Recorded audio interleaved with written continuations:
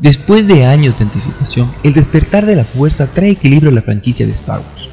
Con el sabor amargo difícil de olvidar de las precuelas, esta es una película que estaba destinada a recuperar la magia de lo que hizo la trilogía original de George Lucas tan especial.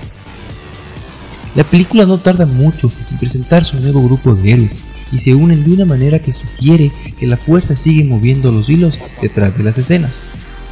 Una de las mejores cosas con las que juega el despertar de la fuerza es el natural carisma y la simpatía instantánea que instalan en el público tanto Daisy Riley, que nos mete en el bolsillo desde su primera aparición, como John Boyega y Oscar Isaac, que desempeñan un papel clave en traer humor y arrogancia al despertar de la fuerza.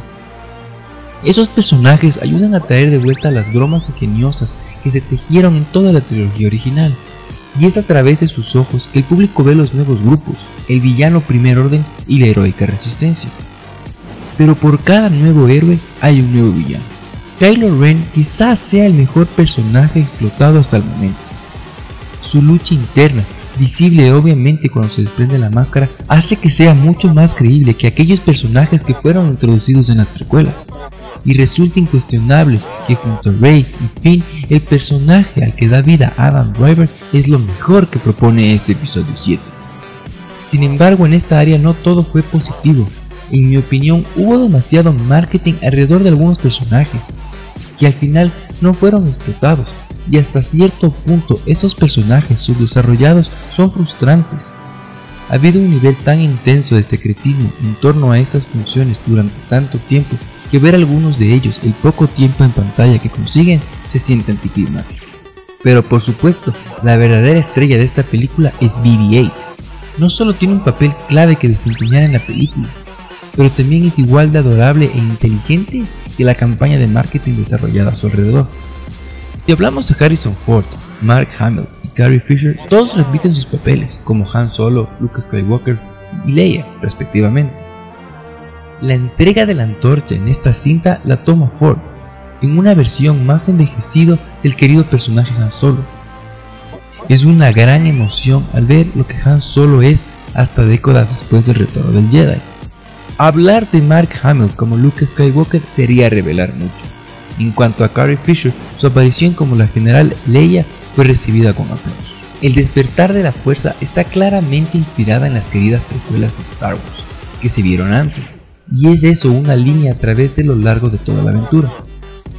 Parte de eso es que el director J.J. Abrams, usando un juego familiarizado en conjunto con la trilogía original, pero estructuralmente el despertar de la fuerza sigue un patrón familiar de lo que vino antes. En tanto un nivel macro o micro, esta película quiere pagar sus respetos a sus predecesores, pero al mismo tiempo introduce nuevos elementos atractivos que abren las puertas a las próximas entregas sin tomar en cuenta los spin-offs.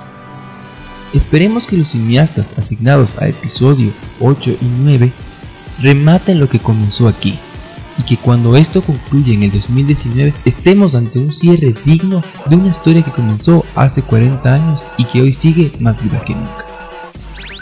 Una película visualmente impresionante. El despertar de la fuerza usa efectos prácticos siempre que sea posible. Las dos excepciones notables son Snoke, The Circus y de Lupita Nyong'o más Kanata, ambos personajes de captura de movimiento que se mezclan con bastante perfección en el resto de la película. El departamento de criaturas claramente trabajó una doble función en la creación de nuevos, extravagantes y divertidos personajes que pueblan este universo, superando de manera excepcional todo aquello intentado para poblar el Senado Galáctico. El estilo visual de Abrams llega a través de las mejores y las distintas batallas especiales a lo largo de esta película, ya que la cámara se mete en la acción con los combatientes de ambos lados de una manera visceral, y el público se mete en el centro de la acción en estas escenas de una manera emocionante. En estas grandes secuencias de acción viene mucha más violencia que se ve en las anteriores películas calificadas PG de Star Wars. La venganza de los Sith es la más oscura de las películas de Star Wars hasta la fecha. También fue calificada PG-13.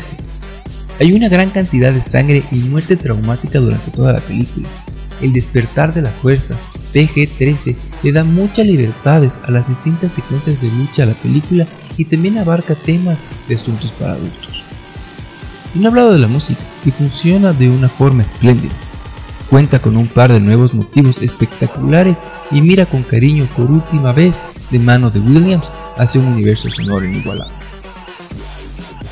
El veredicto Star Wars El despertar de la fuerza es la película que prometía ser, con grandes y nuevos personajes, un respeto a la trilogía original y una sólida comprensión de lo que hace a esta franquicia ser tan amada por los fans. Las nuevas incorporaciones en el universo de Star Wars funcionan mejor, aunque hay algo de exceso de confianza en atar cosas haciendo guiños a los clásicos de las películas de Star Wars. En general, esta es una gran manera de reiniciar la franquicia y abrir el mundo para una nueva generación de fans. Y para situar esta cinta en relación a las anteriores, por supuesto se sitúa por encima de cualquiera de las precuelas. Pero es a la hora de medir fuerzas con la trilogía original donde me cuesta colocarla. Me inclinaría a situarla en un tercer puesto, por detrás de episodio 4 y 5. Pero no será hasta verla de nuevo que sabré con certeza en qué lugar podré colocarla. Y esta es nuestra reseña para Star Wars El despertar de la fuerza. Durante la próxima semana subiré mi reseña con spoilers, donde haré un análisis más profundo de todas las cosas positivas y negativas. Hasta eso, díganme, ¿ya vieron la película? ¿Qué opinan? ¿Cuál es su película de Star Wars favorita? Déjenme sus respuestas en los comentarios y si les gustó este video, denos un pulgar arriba para hacer más videos como este, compartan y como siempre, no olviden suscribirse.